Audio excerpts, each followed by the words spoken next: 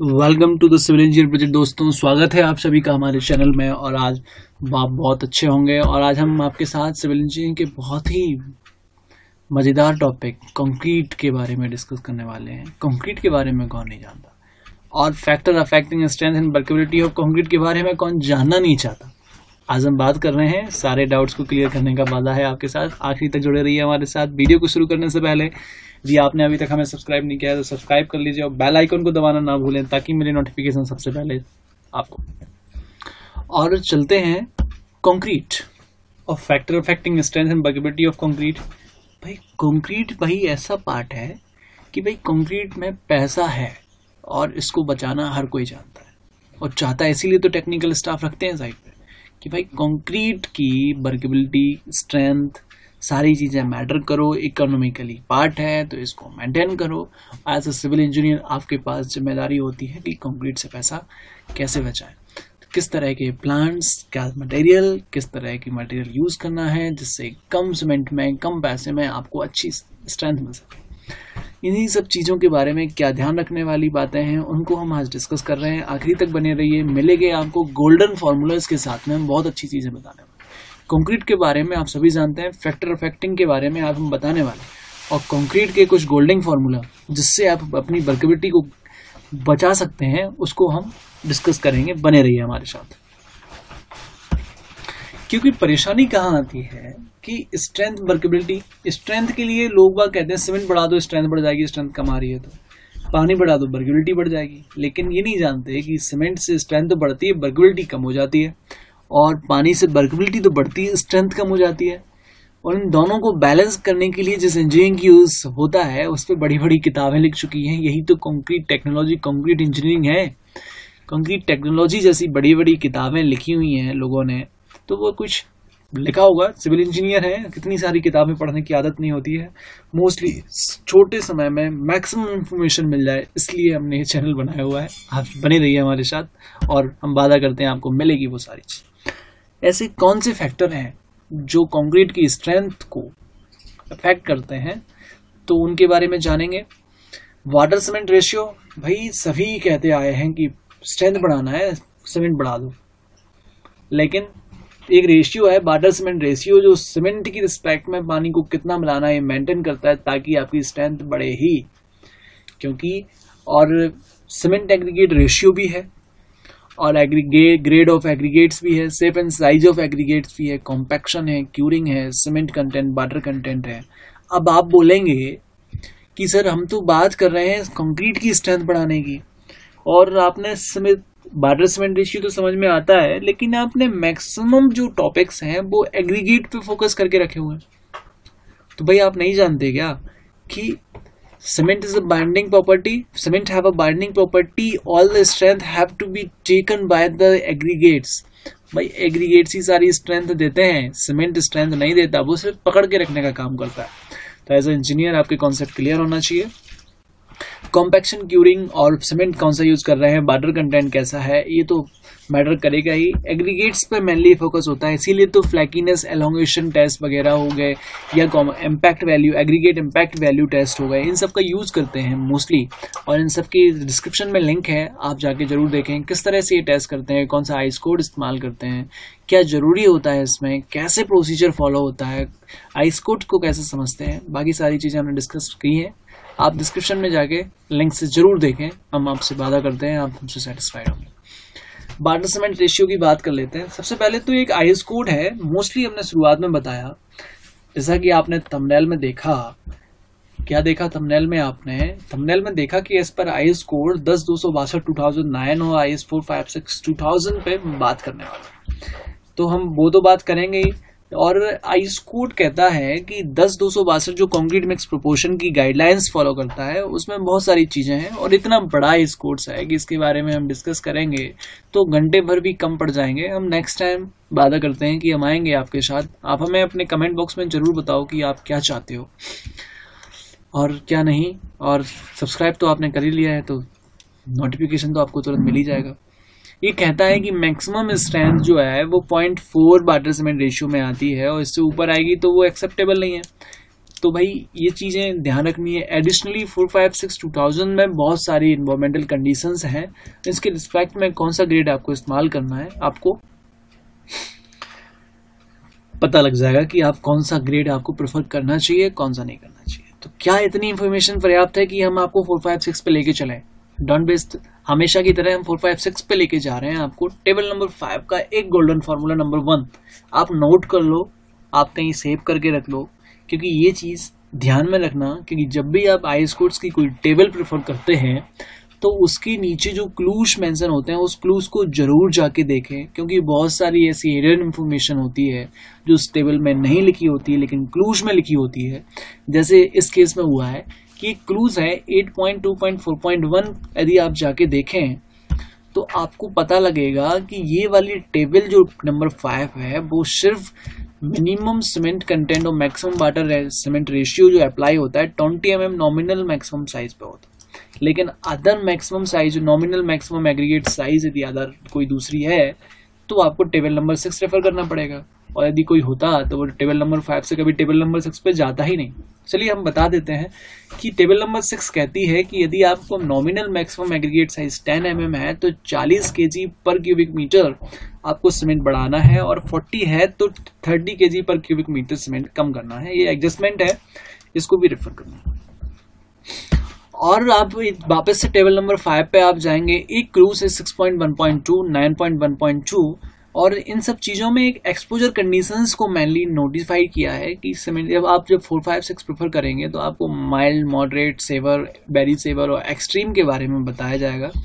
तो हम आपको चले चलते हैं टेबल नंबर थ्री पे, जहाँ पे एक्सपोजर कंडीशंस के बारे में बताया हुआ है।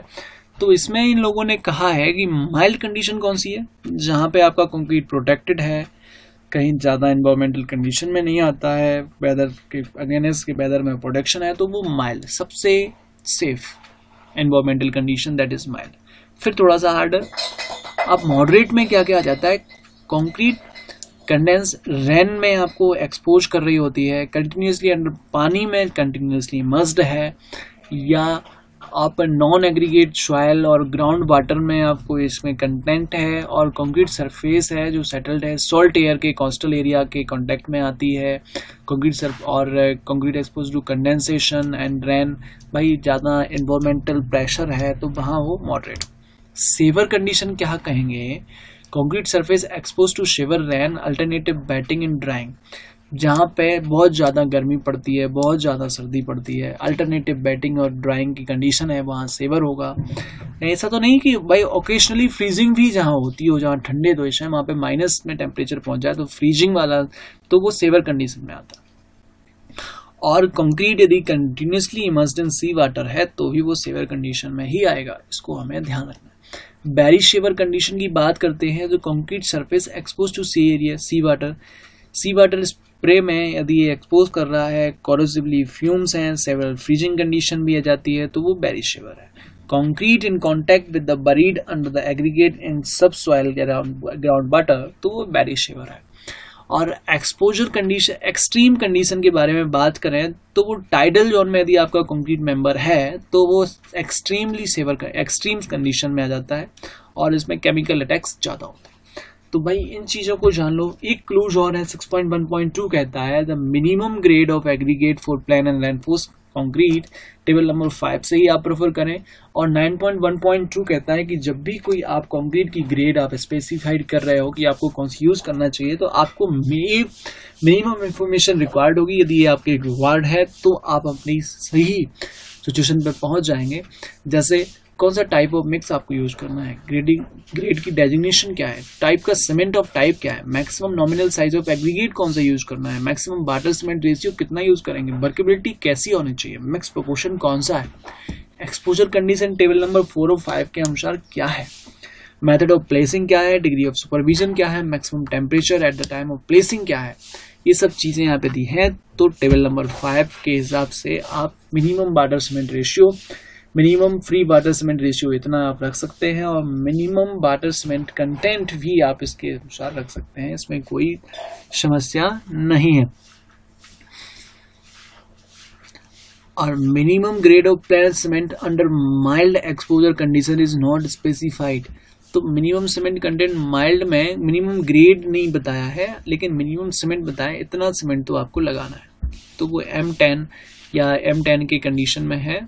तो वो आप ज़रूर देखिएगा। और आगे चलते हैं। अब हमें बात करना है सीमेंट एग्रीगेट रेशियो के बारे में। तो भाई, देखिए सीमेंट एग्रीगेट रेशियो के बारे में हम क्यों ना डिस्कस करें? क्योंकि सारा दामोदार तो एग्रीगेट्स के ऊपर ही होता है। सीमेंट जहाँ पकड़ के रखता है एग्रीगेट वही स्ट्रेंथ देता है। सीमेंट किसी चीज़ को जितनी ज़्यादा अच्छे से पकड़े रहेगा एग्रीगेट उतनी ही स्ट्रेंथ देने में सक्षम बना रहेगा। यदि सीमेंट ने छोड़ दिया तो एग्रीगेट बिखर जाएगा। एग्रीगेट दम है क्योंकि सीमेंट उसके साथ में तो aggregate are the main reason to impart strength to concrete hence increasing of cement to aggregate ratio will result the increasing in strength तो वही amount of water be use to hydration भाई, और aggregate यदि अच्छा है तो उसका water absorption ratio कम होगा, और यदि वो वाटर कम एब्जॉर्ब कर रहा है तो वो पानी हमारा हाइड्रेशन में काम आ जाएगा तो वो अल्टीमेटली स्ट्रेंथ में काम आएगा। ये वाली बात हो गई। ग्रेड ऑफ़ एग्रीगेट कहते हैं। ग्रेड ऑफ़ एग्रीगेट कैसा? भाई वेल ग्रेडेड एग्रीगेट होगा तो वो अच्छी स्ट्रेंथ देगा, ये सभी जानते हैं। और कम वॉइड्स रहेंगे, यदि ग्रेडेशन अच्छी होगी तो। और जो अच्छी ग्रेडेड एग्रीगेट्स होते हैं, जो नदी के किनारे पे मिलते हैं, और वो कॉस्टली भी होते हैं और डिफिकल्टी टू ब्रेक होते हैं तो ऐसे एज पर कन्वीनियंस हम दूसरे भी क्रैशर क्रैशर से हम ले लेते हैं।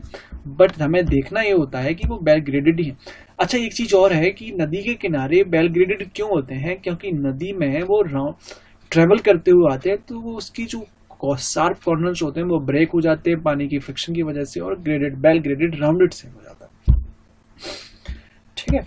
अब shape and size of aggregates की भी बात कर लेते हैं तो well well graded aggregate shape and size की बात करते हैं तो हमें फ्लैगिनेस और एलोंगेशन टेस्ट हमें लगाना होता है। इसकी हमारी डिस्क्रिप्शन में लिंक है, वहाँ से आप जाके इसको देखेंगे, कैसे करते हैं। फ्लैगिनेस पहले करते हैं कि इलांगेशन पहले करते हैं? और करते हैं तो कैसे करते हैं? कौन सा फ्लैगिनेस कहते हैं? किसे इलांगेशन कहते हैं? आपकी इंफॉर्मेशन के लिए हम बता दें कि इलांगेशन 1.8 टाइम यदि ज़्यादा लंबा है तो वो इलांगेटेड कहलाएगा और 1.6 टाइम पतला है तो वो फ्लैगी कहलाएगा। और ये इसके लिए आई कोड्स भी है। डिस्क्रिप्शन में जाके आप ज़रूर देखें। आपको मिलेगी Well graded aggregates give the best strength as well as graded aggregate consist of both coarse and fine aggregate. Fill the voids and facilitate good bonding of cement.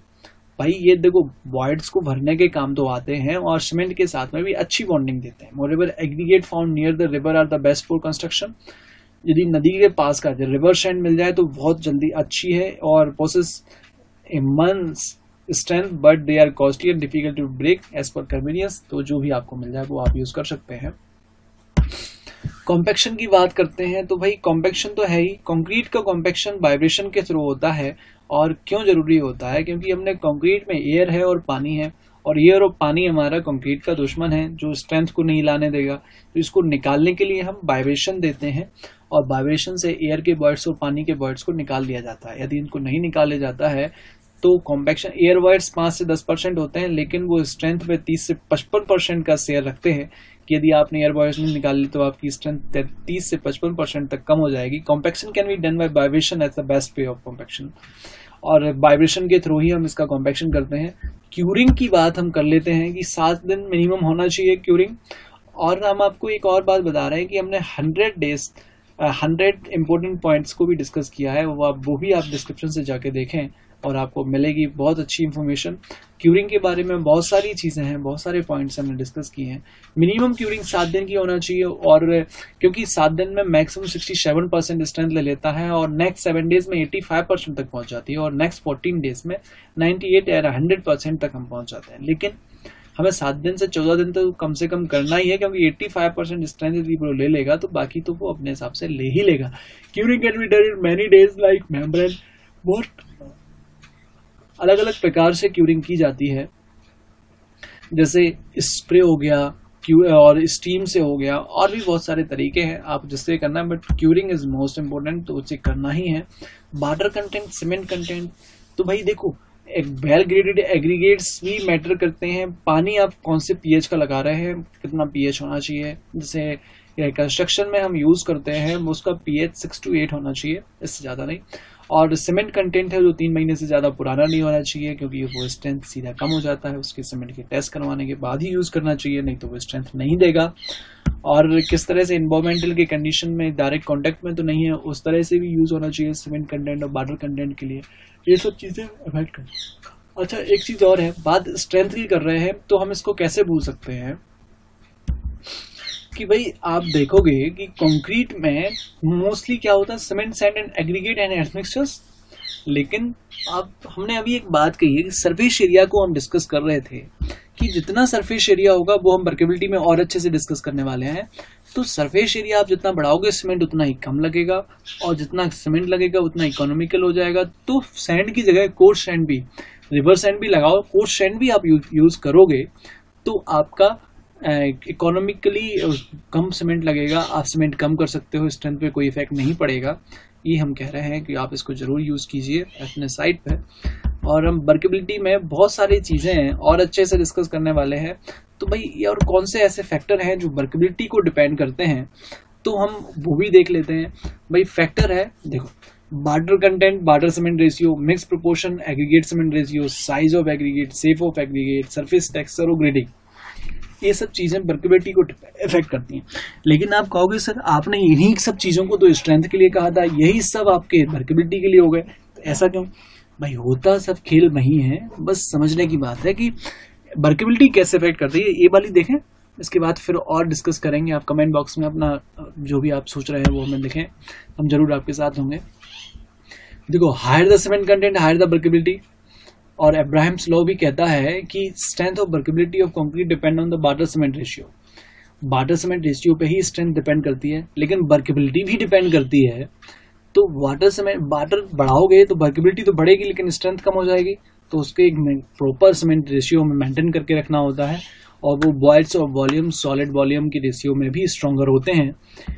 और तो वाटर सीमेंट रेशियो तो हमने mainly जो आपने strength में discuss किया था workability के लिए भी है ही। मिक्स प्रोपोर्शन कौन सा और grade of cement ratio grade aggregate cement ratio भी यूज़ होना चाहिए।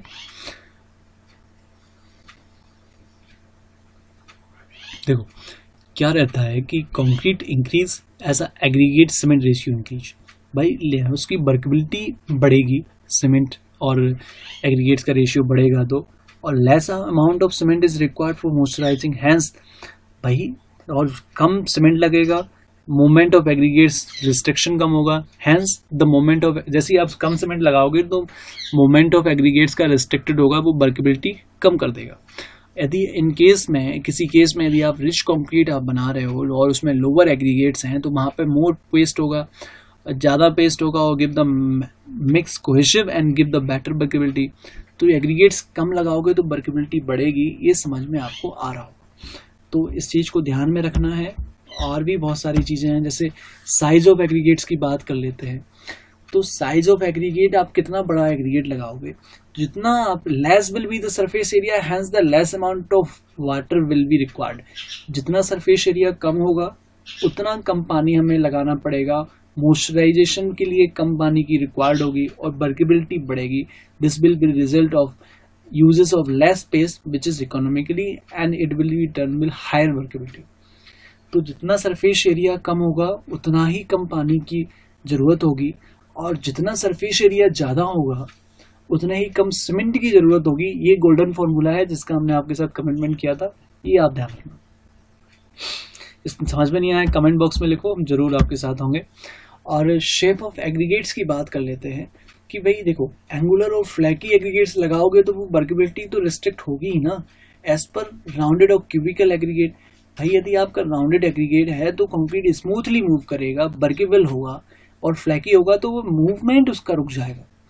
यही चीज़ है कि rounded aggregate have less surface area और जो राउंडेड एग्रीगेट्स में हैव लाइक कम सरफेस एरिया है तो लेस बर्ड्स रहेंगे, और लेस बर्ड्स रहेंगे और रिज़ल्ट इन लेसर फ्रिक्शन और जो बर्ड्स कम है तो फ्रिक्शन भी कम होगा और हायर द ब्रेकेबिलिटी तो ये सब एक दूसरे से लिंक है। इसको टेक्निकल टर्म्स है, इसे इंटरलॉक को समझने की ज़रूरत है। Because of this reason river sand and gravel are use for higher workability than crusher sand. River की सैंड और रिवर की ग्रेवल को हम मोस्टली प्रेफर करते हैं क्रैशर के कंपैरिजन में बट मोस्टली रिवर से सैंड और ये बाकी सब चीज़ें निकालना रिस्ट्रिक्टेड है तो हम प्रेशर को यूज़ कर रहे हैं बट हम कोशिश करना चाहिए कि वो राउंडेड और क्यूबिकल एग्रीगेट्स हों। एज पर टेक्निकल पन you have to be see this surface texture अच्छा होगा तो भी फ्रिक्शन कम होगा, और कम फ्रिक्शन होगा तो आपकी वर्केबिलिटी बढ़ेगी। तो सरफेस टेक्सचर भी, सब ये वही टेक्सचर और सरफेस टेक्सचर ये मैटर करता है। ग्रेडेशन की बात करते हैं तो बेल ग्रेडेड एग्रीगेट होगा तो higher will be the workability और लेस नंबर ऑफ़ बॉयड्स रहेंगे तो स्ट्रेंथ भी अच्छी रहेगी तो स्ट्रेंथ में भी ग्रेडेशन का इफ़ेक्ट है और बर्केबिलिटी में भी स्ट्रेंथ का है। This factor influence most in the workability of the concrete as well well graded aggregate are preferred for the better workability और बेटर स्ट्रेंथ दोनों के केस फाइनली हम कंक्लूड कर रहे हैं अपनी बात को कि हमने बहुत सारे ऐसे पॉइंट्स डिस्कस किए जो स्ट्रेंथ को भी इफ़ेक्ट कर रहे थे और वर्केबिलिटी को भी इफ़ेक्ट कर रहे थे।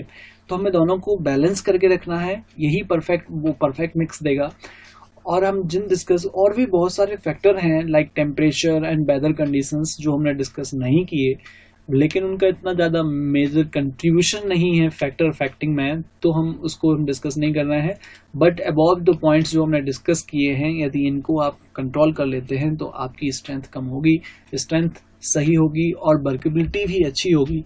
और आई होप कि आपने सेशन को एंजॉय किया होगा। और थैंक यू फॉर वॉचिंग